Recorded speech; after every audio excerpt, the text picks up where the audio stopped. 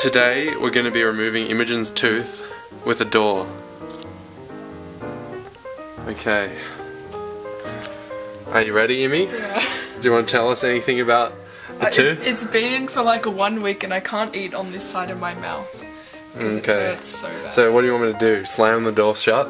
Um, I guess. Are you nervous? yes. Alright. Okay, just- Just close your eyes. Did it work? No. Oh no! String broke. really? oh no! And it hurts so bad now. I can feel it bleeding heaps. Oh no. That's no good. Ah.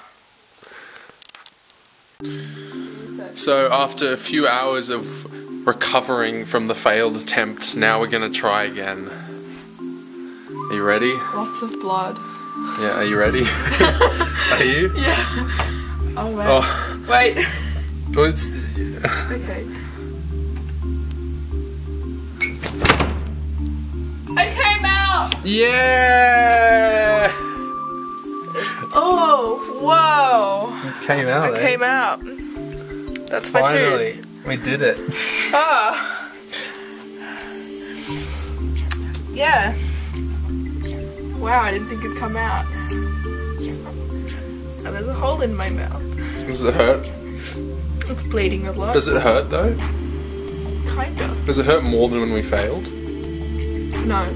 See, I told you we should have tried again. Hey, I told you. Oh well, it's It all was, good and it was, done it now. was bloody. It's all done. I'll see ya.